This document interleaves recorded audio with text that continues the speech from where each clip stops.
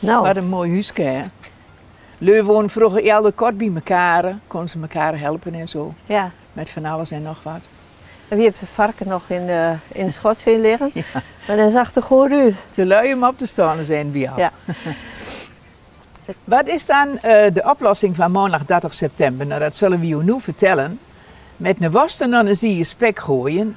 Dat is een goede deal maken. Dus oplossing B was goed. Het net over, die, eh, over dat oude huisje. En eh daar hadden vroeger ook een grote naberschap bij. En in de naberschap daar, eh, moesten ze elkaar met van alles helpen. Een van die dingen was te maken met onze volgende vraag. Hè? Ja. Wat is verhennekleden? Is dat A, afleggen? Is dat B, omkleden? Is dat C, verkleden? Wat is verhennekleden? Nou, ik denk dat oudere mensen weten het misschien nog wel. Denk het ook, ja. Gauw weer. Is dat A, afleggen? Of is dat B, omkleden? Of is dat C, verkleden?